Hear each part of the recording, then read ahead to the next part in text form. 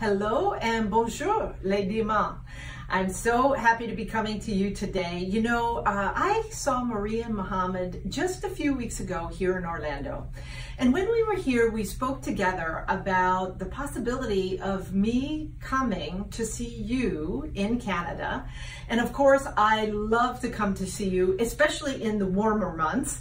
That was one of the important things. And uh, Maria and I talked about a challenge, talked about a challenge for her team in terms of stepping up, promoting out, becoming directors. And she told me that she would take on the challenge. And if she met the challenge, that I would be happy to come and meet all these incredible new directors that either promote out or step up to a new level. And so I've been away on a trip, and when I got back from the trip, I was so excited to see all these cards. Look at this. I was thrilled to find these on my desk when I got home.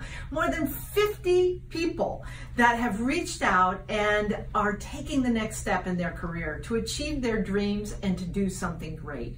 So let me just say, you know, let me read a few. So Pauline says she wants to step up to director in 2019. Stephanie is a two-star director. She wants to be a three-star director.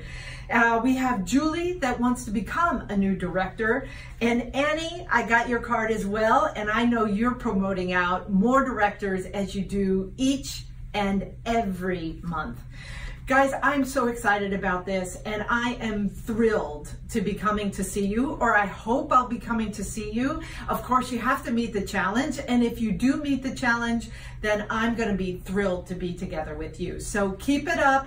Keep up the great work, expand your teams, promote out, and this is going to be the key to success. Hope to see you soon.